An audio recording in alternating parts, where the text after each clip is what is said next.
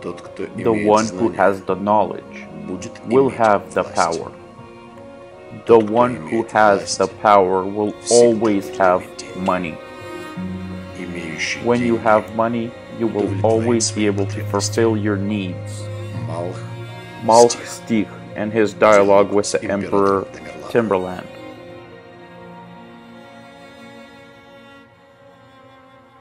In this world, we have four types of people. First type is endlessly busy with therapy of themselves. The second type is the type that chases money. The third type try to control the first two. The fourth type of people are the people that actually have the power. They have the power because they have technology that they use.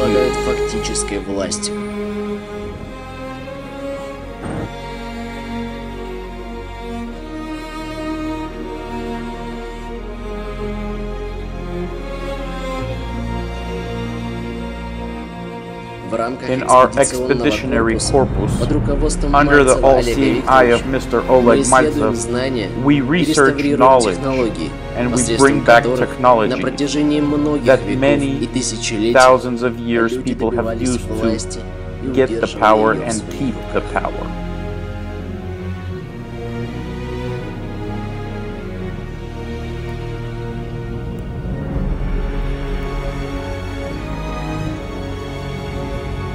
This time we went to Greece in order to understand the mystery behind the crucifixion of Jesus Christ. And to find the place where Christianity initially began, to find the one and only Jerusalem.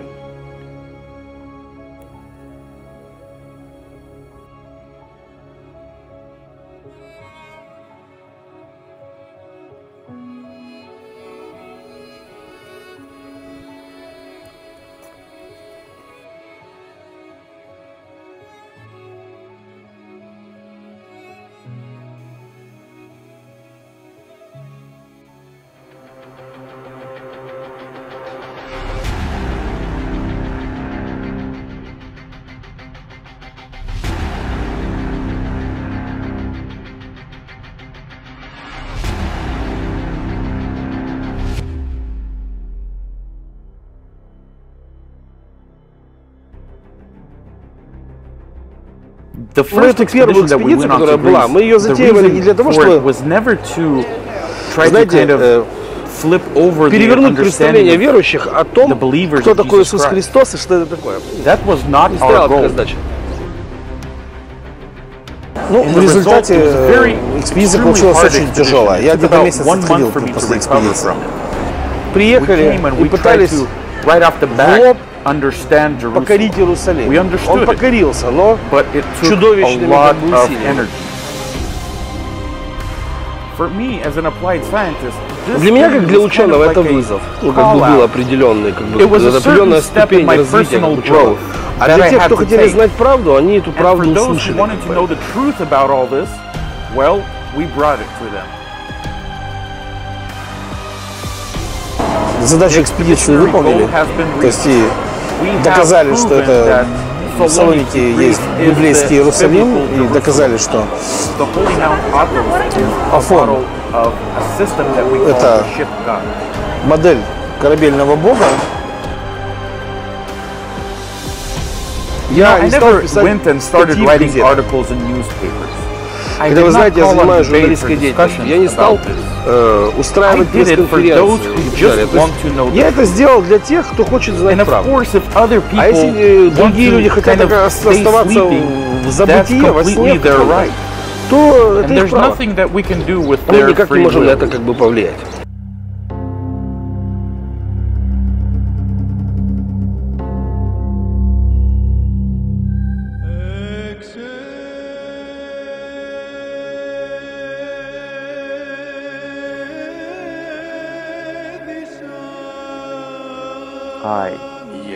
unworthy monk Daniel, the worst one out of all the monks, captured by many sins, unhappy with the good deeds. I was forced by my thoughts and the inability to wait around. I wanted to see Jerusalem and the Holy Land.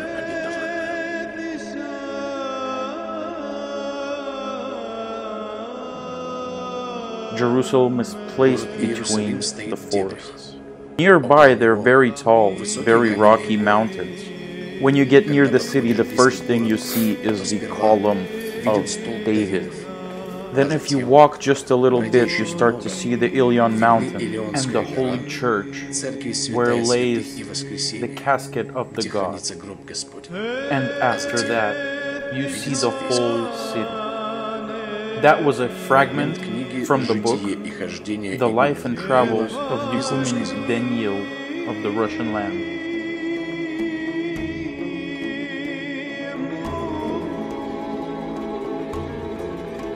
The Greek expedition was extremely different from anything we've seen in Germany, Sicily, and Venice.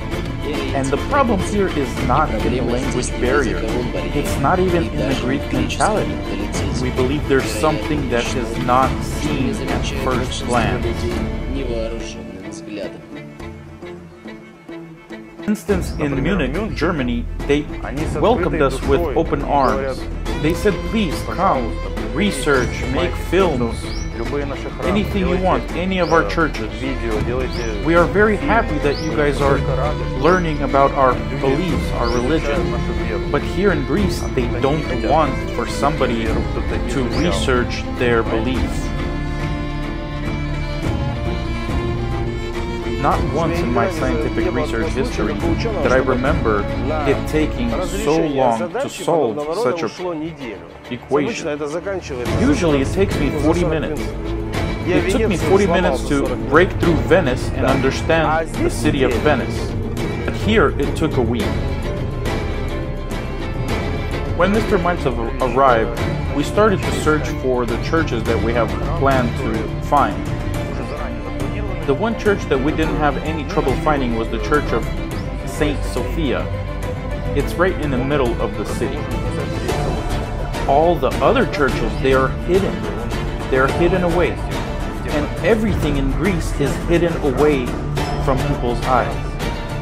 In all the other countries that we've been to, we've never came across this problem where on the map, say Google Maps or Google Earth, it says that an object should be there and it's not there. And here we were faced with such a phenomenon almost every single time that we tried to find something. And I'm talking about official maps that everybody uses. It's it's kind of impossible for them to lie. But here in Greece, they lie. So that's something that was really interesting. And we just started, you know, researching, driving. Uh, it was a whole week of craziness of trying to understand what's going on.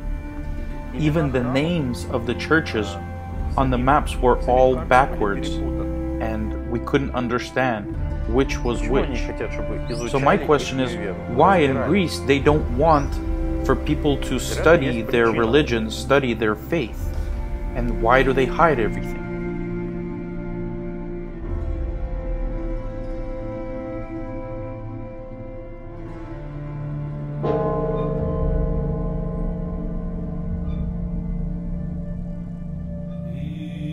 The people that enter Jerusalem are very happy. The gates of the Blizdoma David, from the side of the Wifliam, those are the gates of the Wifliam. You enter the city, to the right is a pathway to the church, to the holy church. And if you go to the left, you see the church where Christ was risen, and where there lays the casket of the God.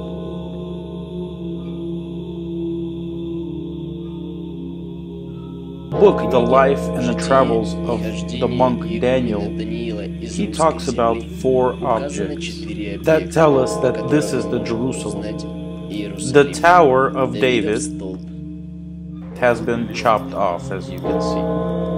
It was hard to find. We were looking for it for a while, but as you can see, it's chopped off, so it was hard to see. The gates of the Binyamin. At first, we thought that these here were the gates where Christ had walked in, the Holy Church, and finally the church where Christ was risen, and where lays the casket of the God.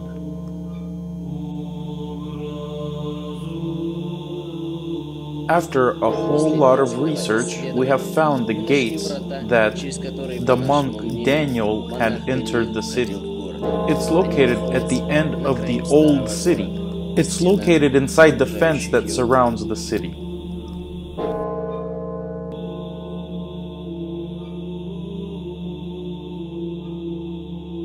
From the church where Christ was risen to the church to the holy church is no more than two flights of the arrow.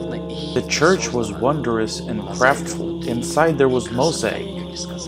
Church is round and inside is beautiful It had four doors that were made out of steel and gold. The top of the church was covered in mosaic, and on the outside, at the very top, was gold covered metal. In his diary, the monk Daniel is describing the church, the holy church. At the time of the expedition, we found this church in Jerusalem. Today, this city is called Thessaloniki, and the name of the church is Rotonda. So it is obvious that the physical location and the physical look of the church is exactly as, as the monk David describes.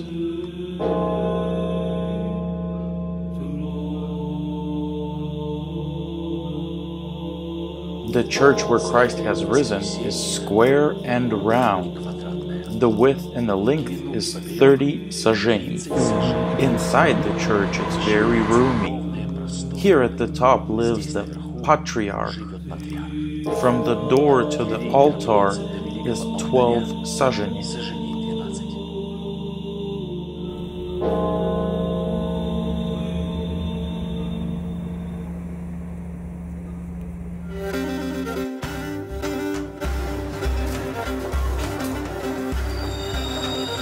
exists a myth that Saloniki or Thessaloniki was the center of the world. In translation, Thessaloniki is translated as the city of the sun. They say that here was a church of the sun, the biggest church in the world at that time. Thessaloniki was the cultural and the religious center of the world. Our city is a big city, big European city that is located on the peninsula of Halkidiki.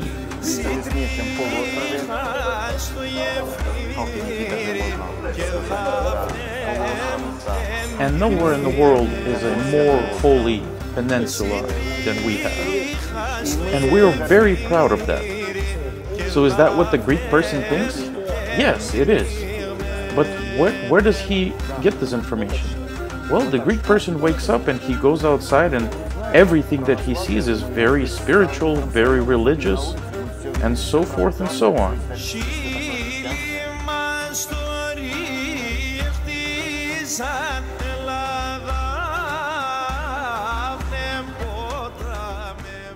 So what we have on our hands today is that most of the Greek people, their opinion is that the Orthodox religion began in Greece.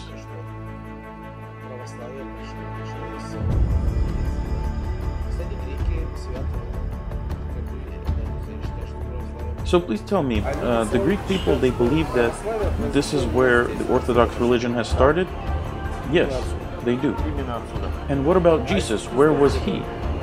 Well, I don't know where he was. Well, from my understanding, then it's also here. If the Orthodox religion was here, then Jesus was here. I don't know, maybe Egypt or something.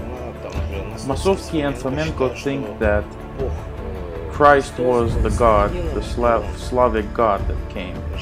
Some people think that Christ is a Tsar. Everybody has their own myths about this. And here we face a question why is all this being done? And I will tell you why. Because the symbols and myths, they control the consciousness of a person.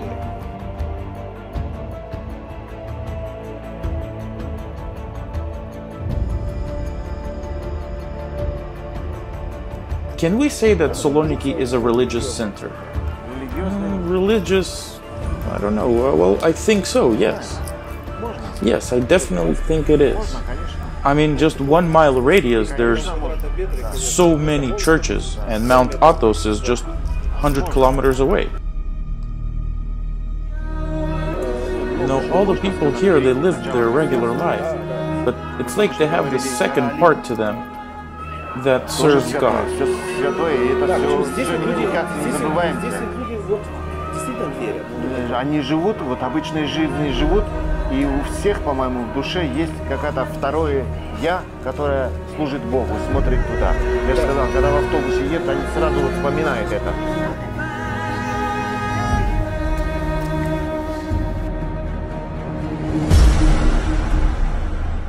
Everybody wants to think that they're born into a religion, into a belief that is that controls everybody else, that is in control, that is the that is the best. They want to believe that they because they were born into this religion, then they have the power over everybody else. So tell me, here in Greece, you guys are believe that this is the real Orthodox religion. Yes, of course we do. And all of the other Orthodox and Christian religions, they have kind of weird off to do their own thing. If you drive a couple of hours and go look at the Meteora and look how people were able to build them, and or you go for four days to Holy Mount Athos, then you will definitely understand that this really is where the Orthodox, the religion has started.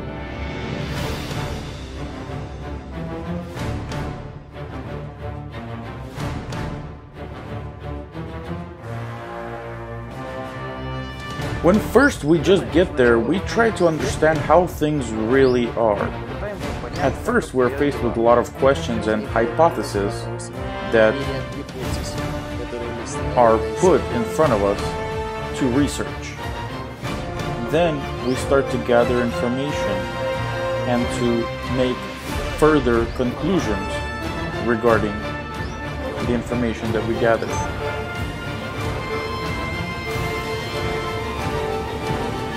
We are researching power. We're researching power of people on Earth in different eras. And we're researching the mechanisms of how these people got the power and how they were able to keep it. How did they control their people? Why did they build such fortresses? Which technologies did they use to keep this power so nobody could take that power away from them in the future? The next step to the expedition is the processing of the information that we have gathered. After the information has been processed, we are faced with a certain technology. A technology that Mr. Maltsev has pulled out of all that different information. So our expedition to Greece is not for us to find Jerusalem for you guys. This expedition is not to try to find where Christ was crucified. And this expedition is not because we want to tell you about Mount Athos. On these expeditions, we are researching power. There's hundreds of questions that need to be answered and to be turned into working systems. Then these technologies are put through testing in some sort of laboratory environments, as per se. Uh, and of course, after that, we apply them towards our businesses. And then we teach them to other people so other people can use these technologies. Of course, on certain agreements. And this is how, after every expedition, we get our certain technologies, certain things that we can use. But most important, we get people that go on these expeditions that become very prepared. You see, these expeditions kind of bring a person's level of preparation to a higher level, and then they use that level of preparation in their regular life, and they become much more successful than anybody else that's around them. The expedition has its own equation. Many factors are in play that the expeditionary corpus has to overcome.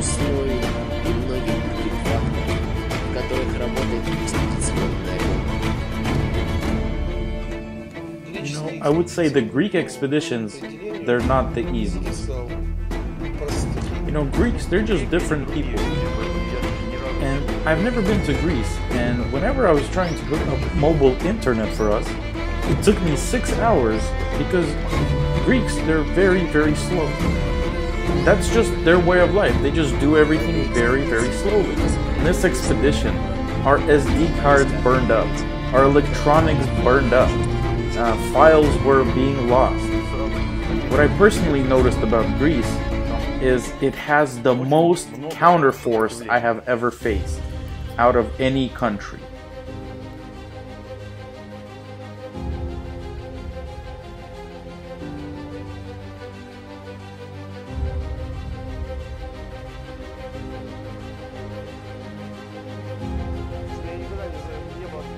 I have never faced something like this as a scientist, as an applied scientist, that this type of equation cost me a whole week. Usually it takes about 40 minutes to solve such a problem. We didn't understand anything. We were just walking around for a whole week. Walking around and studying the city. If we would have started from Mount Athos, it would have been very easy to solve this equation. But because we got to Mount Athos after we solved the Jerusalem equation, it was very difficult. Before we moved on to Mount Athos, we walked around Thessaloniki trying to understand where we should start. Well, I would have started everything from Mount Athos if I knew ahead of time that everything here is backed by Mount Athos.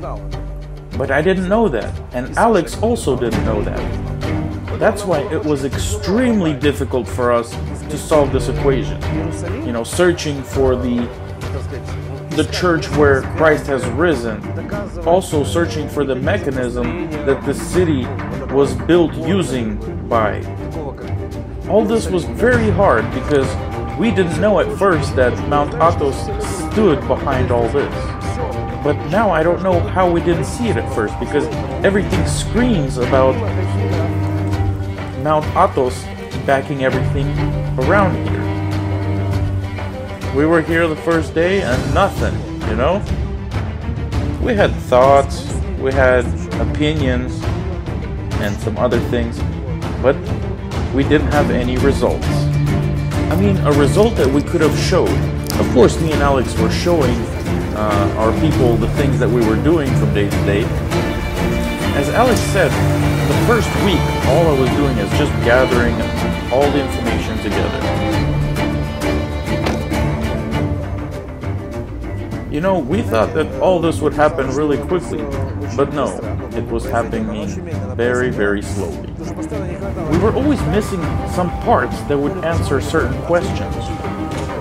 And only after all that madness we had went to Mount Athos, and that is where Mr. Maltsev has concluded that Mount Athos is what we call the system of the ship god.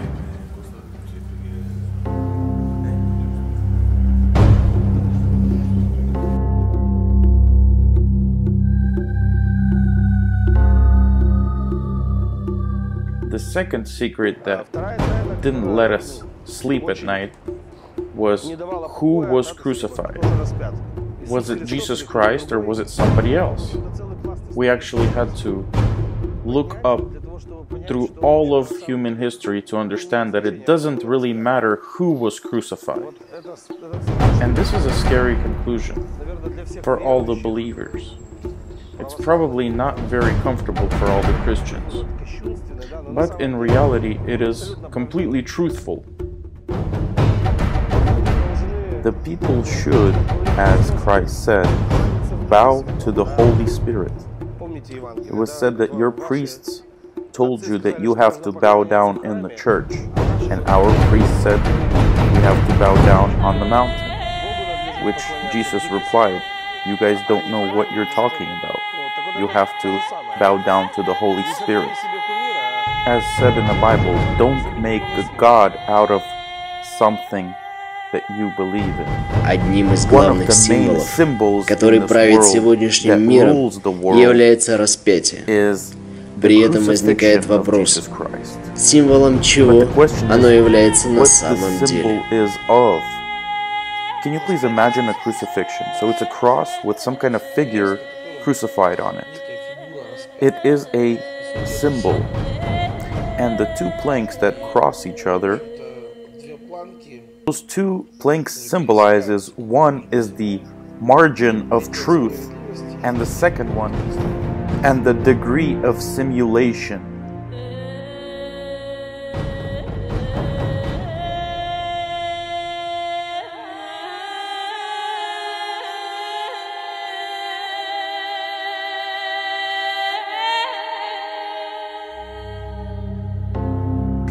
The initial Christian or Orthodox religion, Christ was, was separate and the cross was separate. And only after some time it was all connected together into the crucifixion. Christianity itself existed much earlier than the Bible. So if we look at it logically, first the Christ would have to be crucified and then somebody would have to write about it. And only after all that would you have all the pictures, icons, uh, and the entourage. No, it's possible to make this up. I'm not saying that it was made up. I'm saying it could have been very easily. Because I found a completely different Jesus Christ, a completely different Savior that me and Alexei have discussed in my book, The Ship God. And this is the initial system where Christianity's roots came from. This is where the myth of Christianity started from.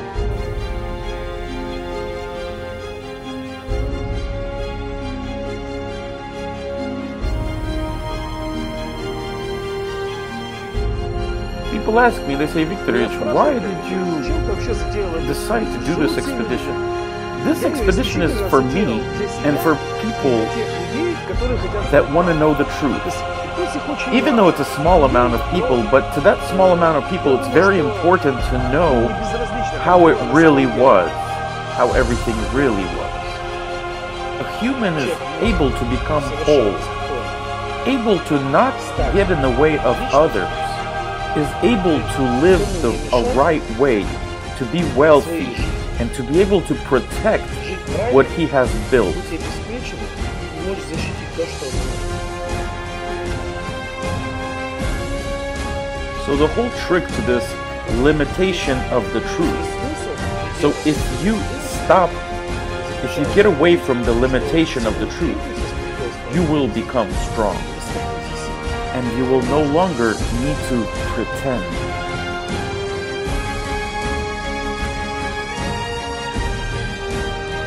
This is the feeling that I had. It felt like after that expedition, I became stronger. And that's the whole reason behind the expeditionary corpus. When we're in the expedition and we're working, the expedition takes away the ability of a person to pretend. And if we are weak, then we become strong. We free ourselves from this cross that has been put upon us since birth.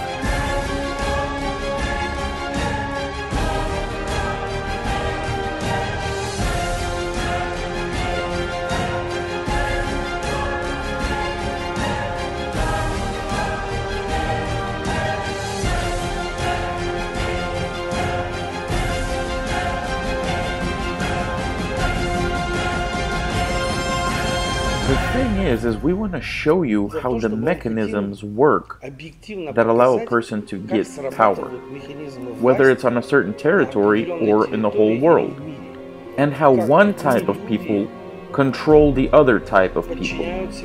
And I want you to compare that to that, what they do with you every day.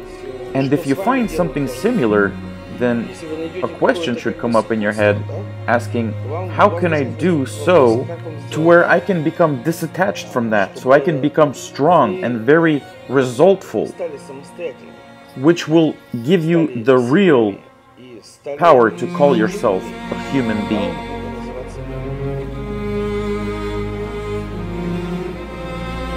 The actual technology, uh, the block of knowledge that we get at the at the end of the expedition, that's the most interesting. The most valuable is the end result, the technology that we got that lays a path for us for other research. Now we understand the system of preparation of Mount Athos. It is called so-called Zhirichskaya Gorka. So you may ask, okay, so we know all this, but why do we need all this? Well, the reason is because every single one of you wants to be well off, they want to live good. And if you want to live well, you want to live good, you want to do business. And the system of preparation and the tradition of Mount Athos is something that pretty much stands behind all of the business you see. And so the mechanisms that they use, they can be used just like in business and just the same in real life, in regular life.